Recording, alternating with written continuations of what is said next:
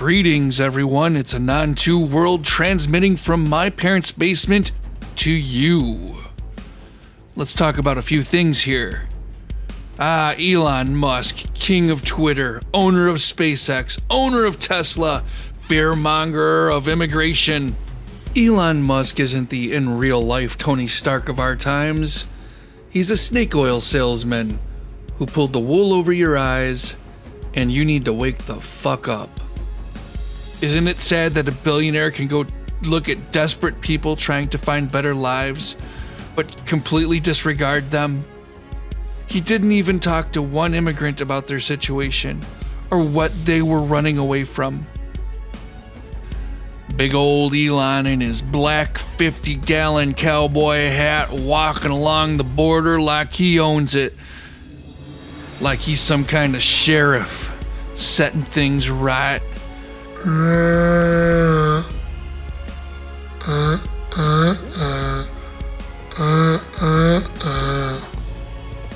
Give me a fucking break.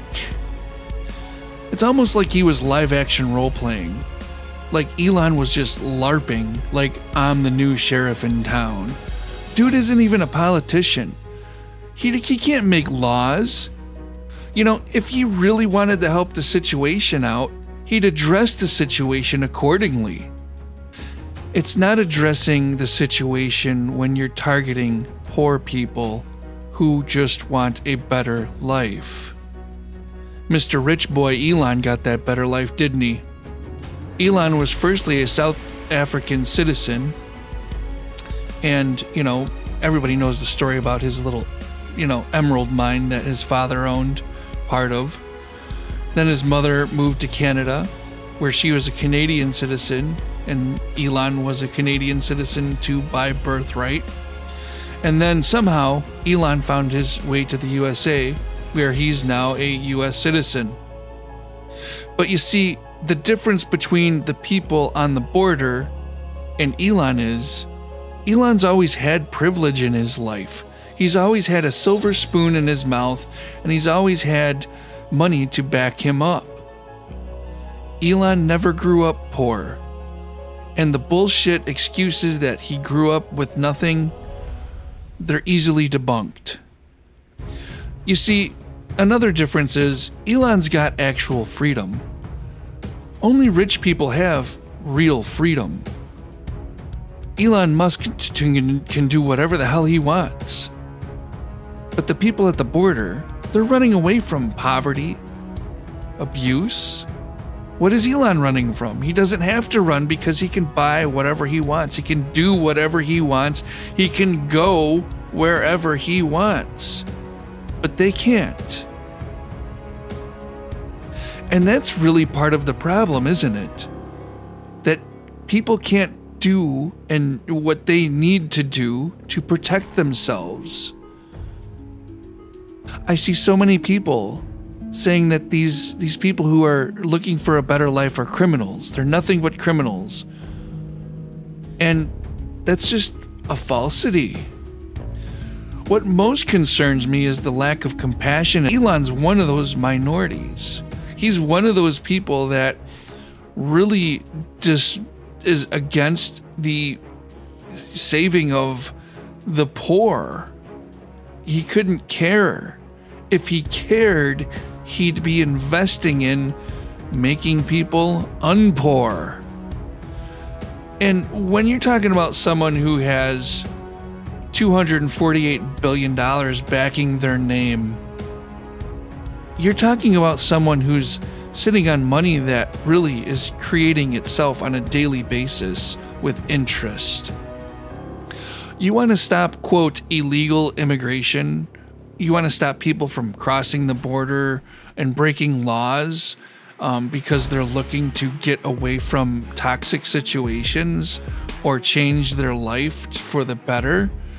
Then invest in that country's economy and make sure that those people love their country and want to build their country up.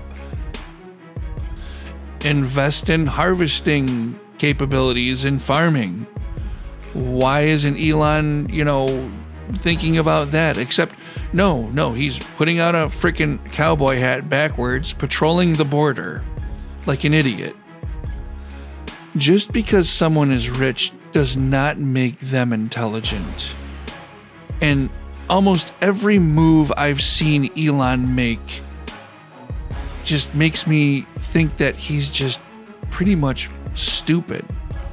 He's probably one of the dumbest people that puts himself out in public and shows how stupid he is. Think about this Elon's father was anti apartheid, and he was very progressive.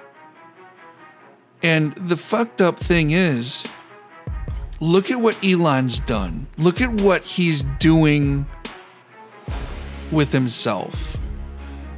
He's embraced far right wing ideologies. He promotes far right wing ideas. His father's rolling in his grave. And I love all these people with like crosses in their avies. And they're like, fuck the immigrants. They're all illegal. They're breaking the law. The people who pretend to be Christian only in name. And it's funny, their Messiah that they kneel to wouldn't want what they want.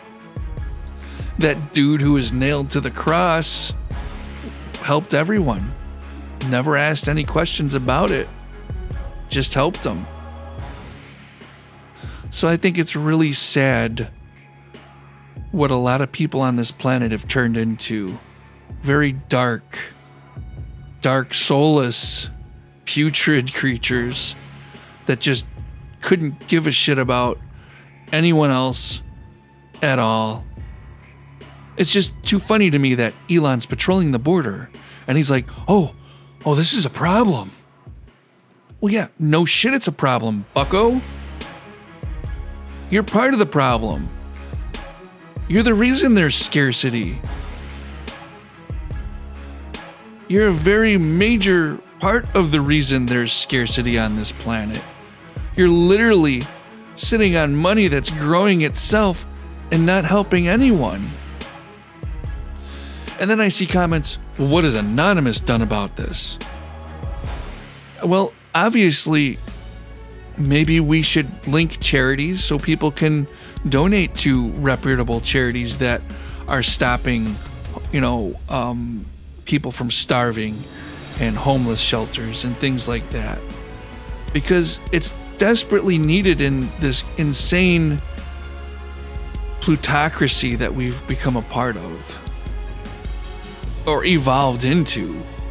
And Elon Musk really needs to understand that just because he has money doesn't mean that he sets policy.